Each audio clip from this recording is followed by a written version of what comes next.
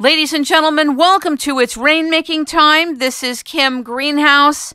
It's a great pleasure and honor to welcome Dr. Piers Corbyn, the owner of a business called Weather Action. This business helps predict both extreme weather and weather from around the world, even a year in advance.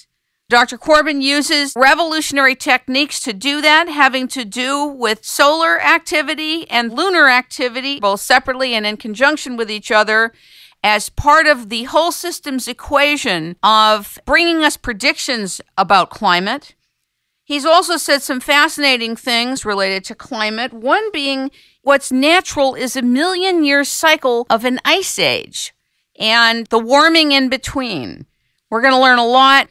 Ladies and gentlemen, welcome physicist, astrophysicist, meteorologist, and owner of Weather Action, Piers Corbyn. Well, hello, and thanks very much for having me on this program. It's a great honor to be here. It's a great honor to have you, Piers. You're a mystery man out there in the climate world. You seem to be predicting weather with a very high degree of accuracy. I know that some of how you do it is proprietary, which I understand. Yes. I hope that for the future of humanity with extreme weather, that at the end of the day, we're not solely dependent on you for this because if anything, God forbid, happens to you, a lot of people who are depending upon your newsletters, your predictions with regard to agriculture are going to lose their crops. So we hope that in the future this becomes more able to be released. Sure, it will be in the public domain in due course. Uh, um, and in fact, there's you know uh, um, secure places where the information is held. Uh, but um, my intention is to release it all. Um, the difficulty we have uh, is partly that we have to be in a strong enough position to do so, rather than just say things and then have people uh, copy them, or more likely, just say it's all impossible because it doesn't fit into the pervading ideology of climate around CO2. I want to start by asking you a question that I heard in another interview that you did. You had made a statement saying, look, what's the norm? Is a million year ice age and then a period of warming. Can you explain what you meant by that? Yes, yes. If you look at the data for the last million years by examining ice cores, you see that every 100,000 years or so, there's a warm period like we're in now, and they last about 10,000 years. And all the space in between, this 90,000 years or, or, often more, is uh, ice age. So the natural state of the world is ice age, uh, or ice ages separated by short interglacials, and we are in one of them now. And we are near the end of one of them, statistically speaking because we've had about 10,000 years of this one, which is lo- as long as any of them have lasted. Now, before a million or so years ago, or some millions of years ago, then the uh, the whole situation was different, and generally it was a generally warmer world. But um, the situation we're in now is this oscillation with the normal state being ice age.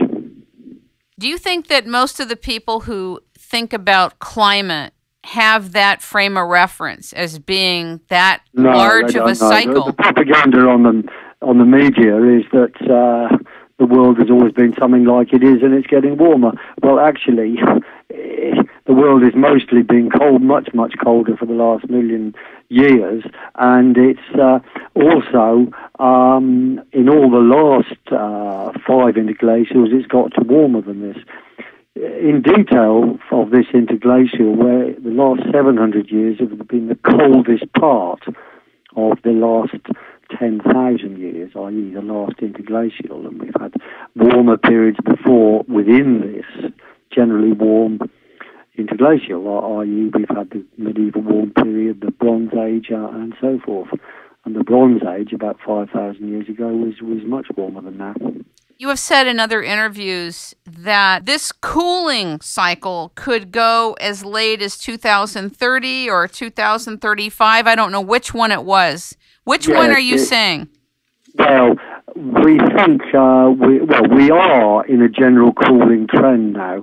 which is more or less admitted even by the people that produce fraudulent data. They're not arguing that the world is, is warming unless they're just telling lies. Um, the, the, what happens if you compare solar activity in the past with, with um, well, basically, if you look about go through 10 magnetic cycles of the sun, about 220 years or so, then um, the solar activity kind of repeats. It's not exact, but it does kind of repeat. Now, if you use that as a comparison, then that means that uh, what happened uh, 220 or so years ago is going to pretty well repeat with solar activity, which that means we're going to have a big decline in solar activity, uh, which, in a smoothed out sense uh, over some decades, means you will also get a generally cooler world, and that is uh, statistically very reliable. It doesn't hold in detail, but it, it holds for like two decades. At least one magnetic cycle of the sun, you can say, give a good average temperature. So we're heading for uh, a general decline in world temperatures and reaching a minimum around uh, 2035. So, how do we receive what you're sharing with us. And of course, Dr. Don Easterbrook also said something similar in terms mm-hmm. of the cooling going on. I did an interview with him many months yep. ago.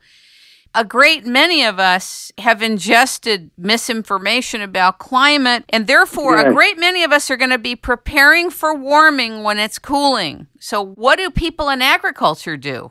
Well, they should ignore what their governments tell them and uh, prepare for longer winters, like you've been having in in, in America.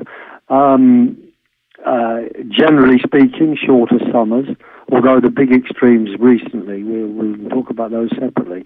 But generally speaking, that's what's going to happen in both hemispheres. There'll be longer winters and shorter summers, um, and this trend will continue and uh, that is contrary to all the claims of the global warmers. If you recall, they said we will see the end of snow by the end of this decade in America and, and Britain and most of Europe or most of America, and uh, and that. Um, well, we just have baking summers all the time. Now, of course, uh, that hasn't actually been the case. The, the, the, the prognoses have been uh, shown to be false, and the world has actually cooled when they said it would warm up due to CO2. CO2 has gone up, but not the temperatures.